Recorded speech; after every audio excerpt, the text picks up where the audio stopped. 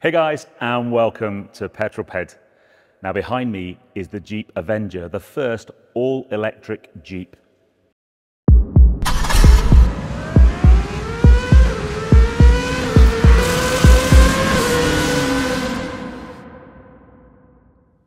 So welcome to this first look at the brand new Jeep Avenger. First up for me, I'm a big Jeep fan. I've done quite a few things in the past with Jeep. I've been up to Camp Jeep. I've driven lots of the vehicles off-road. And as a brand, they have this incredible following. But this, this is the first all-electric Jeep.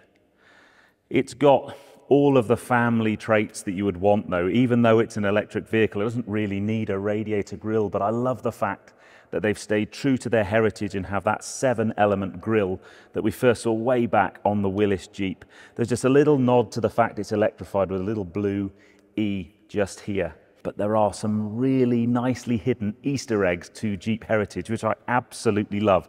First of them is just down here. Now, you might look at that and wonder what it is, but that is the, the front end of a Willys Jeep with the two lamps and the, the um, seven element grille. There's one of those on each wheel. And then other things, you walk around this car and you just start to spot things, some of which there's a, on one of the roof rails at the top, there's what looks like a little imperfection in the plastic work, but it's a little ladybird. And then on the front windscreen, in the blacks around here, there's a little silhouette of someone with a telescope. And in the far left-hand corner, there are some stars, and that's a nod to the designer's son, apparently. I love little things like that. I'm going to take you for a walk around the car. Sadly, we can't drive the car today, but let me tell you about all of the major elements in it. First up from the front, I really do like the front of the car. It's got a really uh, very striking LEDs and so on. We'll, we'll, turn these headlights on in a moment so you can have a look at them.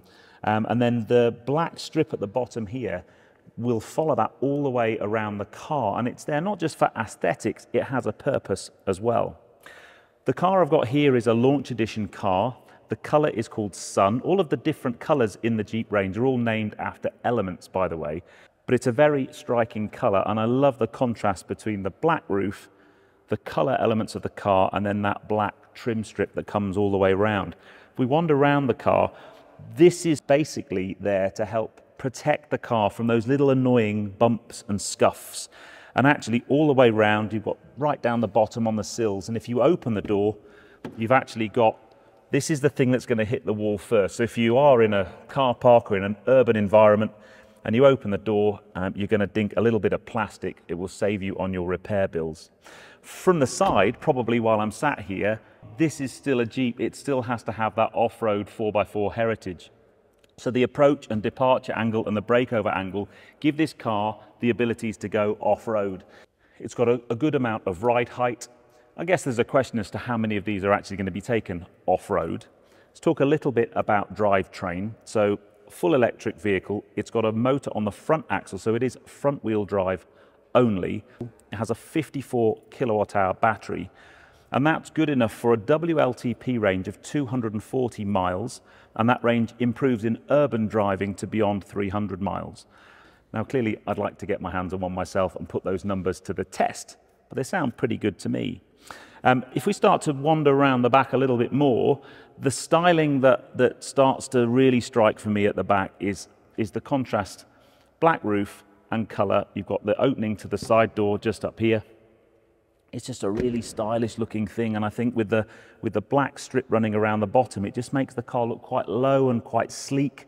Um, and really purposeful. And then you come around here, and I absolutely love these smoked out lenses for the rear tail lights and they've got the X design there. Boot wise, self-opening boot. You can do it with your foot as well if you like. And it's a good sized boot in here. I like things like the fact that there's a, a false floor, which is where you want to put your charge cables. One of the big things about electric vehicles is you really want to carry a set of cables with you in case you go to a charger that doesn't have a built-in integrated cable.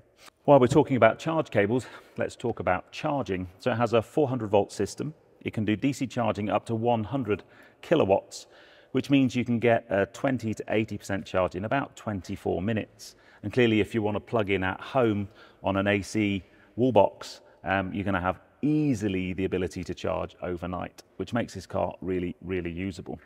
Let me jump on the inside and see what the back seat passenger room is like. I do like that tailgate.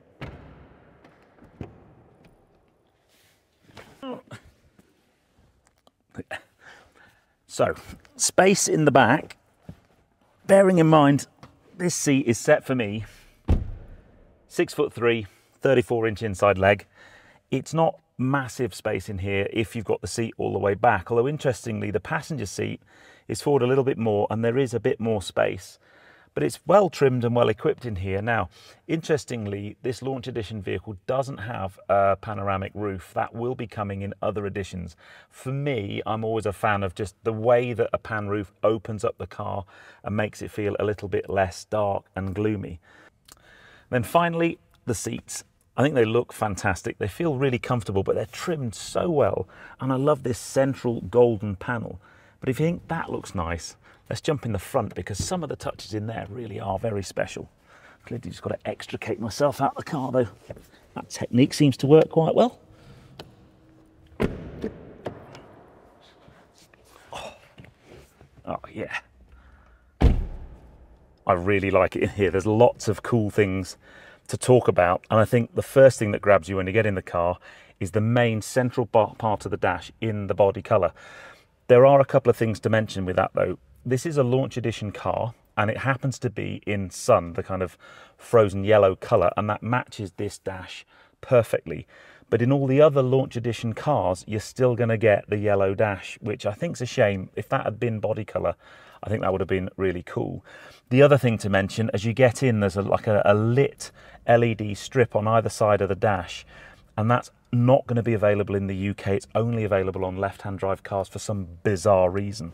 In terms of um, uh, sort of driving position, let's just kind of fire the car up and just um, bring it to life, as it were, um, and turn off all the bings and the bongs. Um, really nice driving position. You've got that iconic Jeep steering wheel, two 10 and a half inch monitors. The front one in front of you, the kind of instrument binnacle as I always call it, really nicely laid out. And then you've got a main touchscreen interface just here. It supports all the things you would want, wireless Apple CarPlay and wireless Android Auto. But you do have some real buttons. All of your climate control, um, they are real buttons. You've got the drive modes just here. Um, sort of drive, neutral and reverse. And then one of the features I really like, you've got this cover, but it's just attached magnetically. It actually comes off and then you can fold it up and just put it away. And that opens up this space in here where you can store, there's loads and loads of storage. The storage bins are massive. There's a huge amount of storage in this central bin. A, you could easily get a couple of water bottles. And that, if you think about the sort of Jeep adventure heritage, you want to go out for a drive, you want to take loads and loads of stuff with you. So you've got loads of space in the boot for storage and loads of space in here. But I really, really like this because you could, if you left valuables in there and you needed to leave the car, you can basically just clip this back on. It just attaches magnetically and it looks really, really smart. So yeah, all in all, it's a really very, very interesting car. These seats, they kind of follow on from the rear. They've got this lovely golden stitching with the Jeep embossed on the side. It just feels like a really nice premium quality place. I'll be very intrigued to see how it drives. It's got 156 horsepower and 260 newton meters. So uh, that seems like enough punch. It seems like a balance between enough power and performance that will also give you the range. The other thing is this is still a Jeep. I've got all of the normal Jeep off-road modes. So if I was inclined to take it mud plugging, then I can give that a good go. And I remember in the past I've taken a Jeep Compass, which is a pretty road-focused Jeep off-road, and it performed absolutely brilliantly. So I've no doubt that this car, if you did want to get it muddy and dirty, will do the job. But all in all, my first impressions, having not seen anything other than pictures to finally see it in the flesh, it's a really interesting car. I think it's got striking looks on the outside. Um, it's got that Jeep heritage. I love the grille um, and I love that nod back to Jeeps of old.